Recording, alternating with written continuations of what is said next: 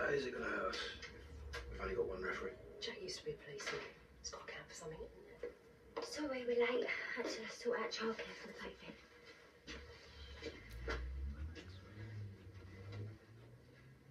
Right, he thinks he's meeting a 14 year old girl.